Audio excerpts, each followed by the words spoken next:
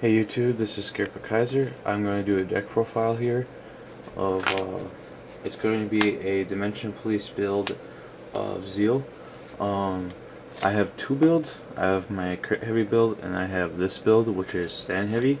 So, uh, yeah, I'll get into that because if you don't know where I'm going with this, you're probably very curious. Um, starting Vanguard Zeal, uh, just like the ride chains, like your top seven. Then we have 12 stands and 4 heals. Grade 1s. We have our 4 Zeal, our 4 8K Vanillas, only 3 Perfect Guards because this is uh, such a YOLO deck. You don't really want to have to YOLO with a Perfect Guard, but uh, yeah you get the point there.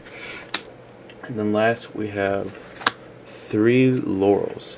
Um, obviously you can already see uh, the advantage of running uh, laurels with so many stands. and because uh, Zeal does what it does of powering down the Vanguard, making it hard to block, if they can't block that Vanguard and then your Laurel hits and you can stand your Vanguard. So you're starting to see where this is going grade 2s, so we got 4 Zeals. We have 3 Twin Order 10k Vanillas. We have 4 um, Salt Monsters. Uh, I prefer running 4 Salt Monsters to 4 Twin Orders just because I like the 11k. Create a little bit more of a gap.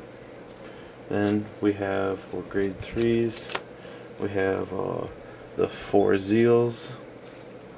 And we have four Miracle Beauties. So obviously she and Laurel are being very important parts of the deck and they are why there's the 12 stands. The idea is to um, you can like swing with your your rear guards, swing with your vanguard, hit your stand, stand your Miracle Beauty, stand the cards behind them. If your vanguard hits, you can use Laurel, stand it. Um, and when your opponent's powered down and you're standing, getting multiple attacks and it can be overwhelm the opponent and just YOLO beat the crap out of them real quick. Um, yeah, thank you for watching.